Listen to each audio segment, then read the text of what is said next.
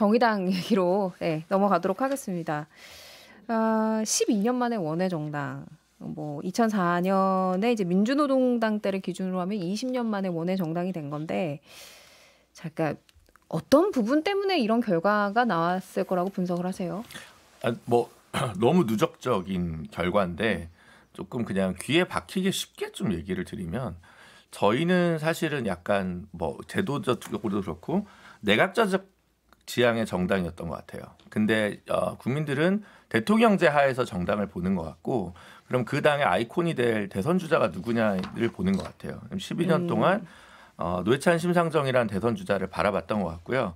이제 그 다음 next가 안 보인 부분인 것 같아요. 마찬가지 이유로 여론조사에서 늘 저희보다 높게 나왔지만 더 낮은 득표를 획득한 새로운 미래 같은 경우도 이낙연 총리를 대선 주자로 안 보는 거죠. 그러니까 음. 대선 주자에 대한 평가 부분이 저는 되게 크다고 생각을 해요. 그러니까 그 과제를 풀어가는 문제에 있어서 저희가 뭐 금속 노조나 뭐 이런 그 보건의료노조, 화섬노조 이런 노조 위원장님들도 지지를 해주시고 어, 전세 사기 피해자분들도 입당해주시고 장하나 전 의원도 민주당 탈당하면서까지 지지 유세를 해줬지만 어, 그런 하나하나의 마음도 중요하지만 크게는 여기 대선 주자가 누구야라고 하는 부분이 되게 컸던 거 아닌가라는 생각을 어, 지나고 나서 좀 하고 있는 부분이 있습니다. 물론 더 들어 듣고 최종적인 평가는 좀 할 수 있겠지만. 네. 음, 다른 분들은 좀 어떻게 평가하세요? 좀 어쨌든 이 진보 정당으로서 이제 고독한 외길을 걸어온 정의당의 이 결과에 남의 일 같다라고 생각하시는 분들은 별로 없을 거예요. 그래서 음.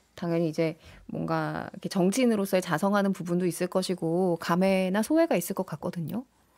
아무래도 개혁신당이 좀 얘기하는 게 맞지 않아요? 어, 음. 네. 그 녹색정의당. 어, 제가 봤을 때는 노동의제를 정의당이 주도한다라는 느낌을 좀 많이 잃었어요. 그러니까 음. 민주노총도 사실은 더불어민주당과의 협력 관계를 굉장히 많이 강화했고 또 지역의 풀뿌리 조직 같은 경우에는 또 진보당 쪽에서 많이 흡수를 한 부분도 있다 보니까 어, 저, 녹색정의당 입장에서는 어, 우리가 무슨 그 뭐 소수자 정치, 정체성 정치뿐만이 아니라 노동 의제도 충실히 꾸준히 다뤄왔다라고 하시지만 국민들께서나 아니면 노동계에서는 그게 그렇게까지 정의당이 우리를 대표한다, 일하는 사람들의 희망이다 이런 게 좀 와닿지 않았던 거 아닌 아닌가 하는 어, 생각이 듭니다. 그러다 보니까 조금 어, 특히 그리고 또 인재 유출들도 많았어요. 이게 다 더불어민주당 때문입니다. 사실.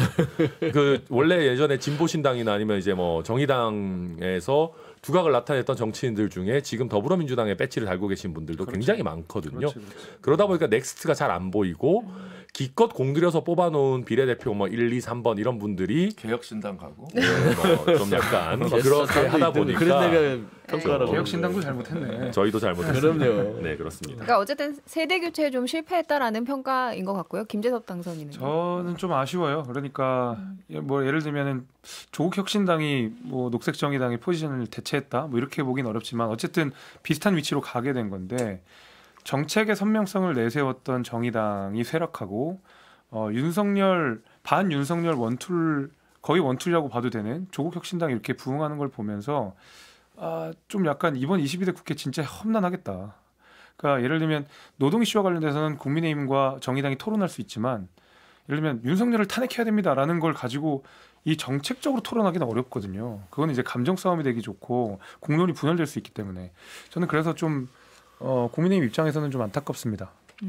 저는 녹색정의당 짧게 말씀드리면 어, 정말 이 녹색정의당은 정의당은 정의당은 사각지대 그 사각지대 잘 안 보이는 소외된 어떤 그런 노동자와 소수자에 대한 그 인권이나 권익을 챙겨왔던 당이거든요. 그런 부분들을 어느 순간부터 말은 그러는데 행동들이 인정받지 못했어요. 그리고 노회찬의 6,411번의 그 정신이 과연 21대 국회에서 정의당이 실현됐었는가. 좀 돌아봤을 때는 조금 아쉬움이 크고요. 넌 심상정 의원의 책임도 크다고 봅니다. 본인이 대권 뭐 후보로도 했었고 했지만 결국에는 본인의 어떤 이득이 먼저지 않았냐 당보다는 좀 냉정하게 저는 저는 개인적으로 그렇게 평가합니다. 알겠습니다. 어쨌든 뭐, 죄송하다는 말씀 드리겠습니다. 아니 거대 양당들이 이렇게 정쟁을 하는 틈 사이에서 소수자 의제가 비집고 들어갈 어떤 여분이 없는 것도 좀 있지 않았을까? 저는 그런 생각도 들고요. 민주당이 또더잘 챙기겠습니다. 예, 그리고 지난주에 이제 국민의힘 송영 대변인이 나와서 이런 말씀을 했어요. 뭐 지금의 녹색 정의당의 위기가 김준호 대표 탓은 아니지 않냐. 그러니까 그럼요. 사실 아, 굉장히 그거는 그건 아니죠. 네, 제가 어려운. 시기에- 심상정 의원의 탓이라고. 예, 어려운 시기에 그래도? 책임감을 가지고 끝까지 이렇게 완주를 하신다는 점까지 박수 드리면서 광고 듣고 오죠.